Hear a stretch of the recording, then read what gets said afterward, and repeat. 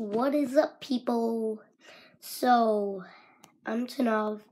If you didn't met me before, make sure to like if you don't know me. So, basically, like, I like fish and chickens. So then I made like a chicken coop. I mean, a chicken brooder. And I think it's good for chicks, but I need some stuff.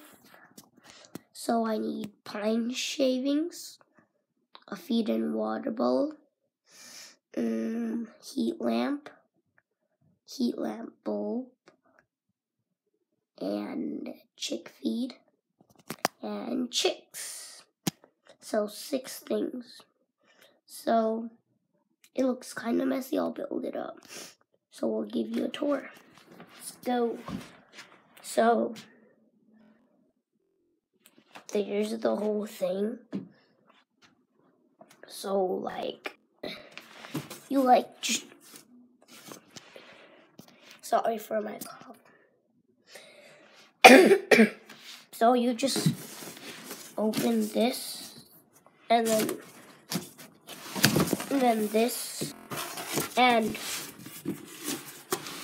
and then it's literally like this.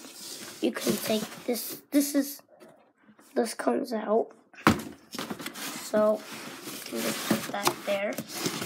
And then, so, when they learn to fly, I like, there's like a little knob thingy I built with the hot glue gun. Like, it's this stuff to go in.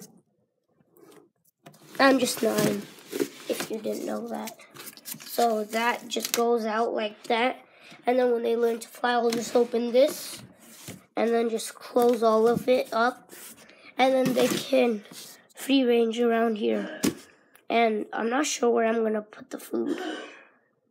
But I think maybe I'll take these out. I don't think I need them. So yeah. And one more sad thing is the orange fish I had an egg and it died. So when I have chickens, I'll give you updates how I do everything. Bye.